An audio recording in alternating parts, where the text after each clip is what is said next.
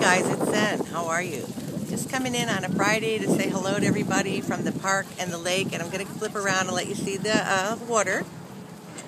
There's some people with, look at all those ducks. Can you believe that? And it's just this, it, the lake curves around and it's really beautiful.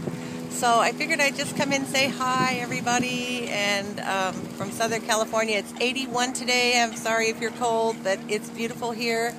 And I wanted to give you my weekly weigh in. Um, I do them all different days of the week, so because but I weigh myself every day.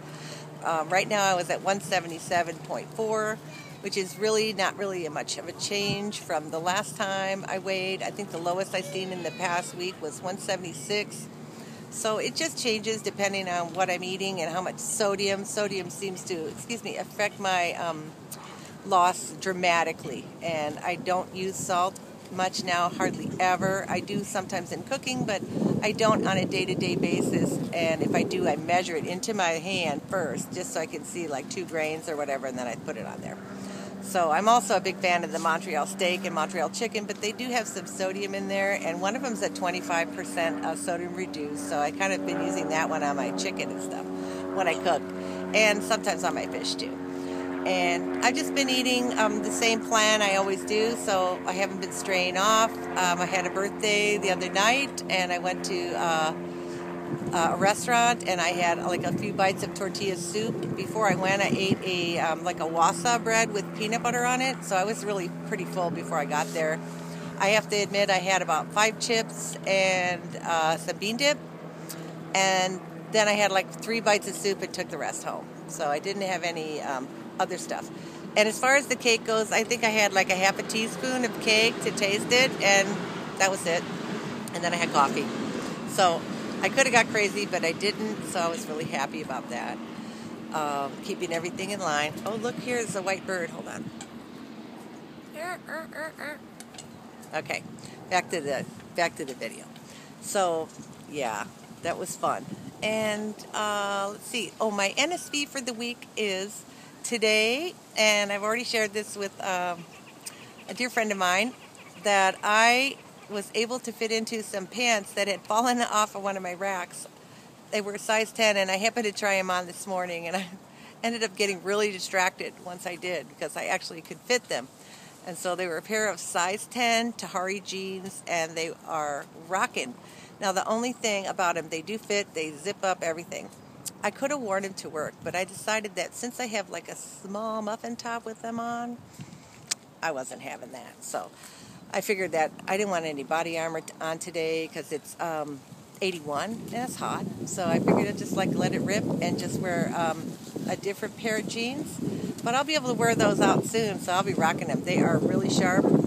And I got them at the thrift store. So you guys out there who are changing sizes, don't worry about it. Just go and find some. They have some great stuff at the thrift store. You just have to look. They have all sizes, shapes. You don't have to worry about spending a fortune, and you can get what you like.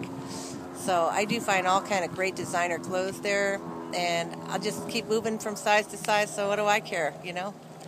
So that was really exciting for me. Um, I wanted to say I have not been in a size 10 fully since like 1998, which is um, a long time ago, guys. a long time ago. Um, it's definitely not my stopping point. I have a long way to go, and kind of the question is for me is you know how much is enough? And I know I've asked it before, and I've heard other people ask the question. And you know what? I have like fixed in my brain about the fact when I was younger that I never felt satisfied. And no matter how small I was, I never felt that it was enough. So I'm going to be having to deal with that. I know, again, because even though I look in the mirror, I'm like, hmm, I don't feel like I look like that. I don't feel like I look like a size 10. I don't, you know what I mean? It's kind of like a mental block. So I guess I'm just going to have to work through that. And if I need therapy, then so be it.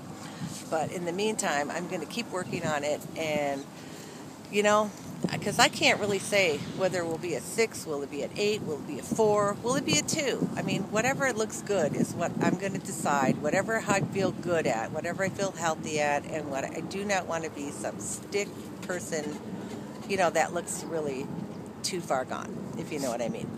that's just me. Everybody has their own preference. Everybody stops where they want to, and I totally get that and respect that. I mean, if, if you know your goal is a different size than mine, you know, I, it's great. Whatever it works for you, because we all come from different places. We all have different stuff in our mind. We all feel good at different places, weights. Um, I'm unfortunately for me, I have a very small build, so I'm not able to carry weight like some other people maybe who are even my same height. Um, I'm five feet five. I actually got measured at the spine surgeon for my daughter um, a couple weeks ago. So I was really ecstatic about that because I had always thought I was five four and a half. So that half an inch, you know, I've been begging for height, came to me. So just goes to show you what positive positive vibes will do. But anyway, yep, I'm still thinking about all those things. Those things are jumbling around in my mind, and I'm not there yet, of course. But I mean, I just think that we all have to kind of give it some thought from time to time as to when we do come to these different steps along the way, as to what will the next step be. Um, well, you know, the other thing this shows, guys, is that this is inches lost. This is not pounds lost, really, from, from the last month. This is totally inches lost, and this is thanks to my workout routine and things that are working for me. And I know everybody has a different one, and I really applaud you all for your challenges and stuff because every day is a challenge for me. Because sometimes I just feel like laying down when I go home, like I said before. And uh, my friend even caught me laying down yesterday and said, Oh, you know, he didn't say anything, but I'm thinking, hmm, I better get my butt up and get my butt to the workout, you know, and do what I got to do. So that's what I did. Uh, and I felt better. And of course, I get totally energized, and then I can't slow down. But yeah, it's all good. And I think that that is one of the best reasons to work out is because the feeling is so amazing. And I know all of you guys that do do that um, feel the same way. And I hope that everybody who's starting to think about getting motivated picks something to start with. And then if you don't like that, you move on. But you kind of have to do something for, uh, you know, a few weeks give it a chance, you know, because at first everything is kind of hard and everything is a struggle. But as you do it over time, it becomes like ingrained, and then you become, uh, I want to say robotic, but it's it's really not robotic. It's just that you enjoy it and you're not really thinking about how much you're hating it, you know. So anyway, guys, have a great weekend. I hope you all enjoy and stay out of trouble. all right, now, love you all. Bye.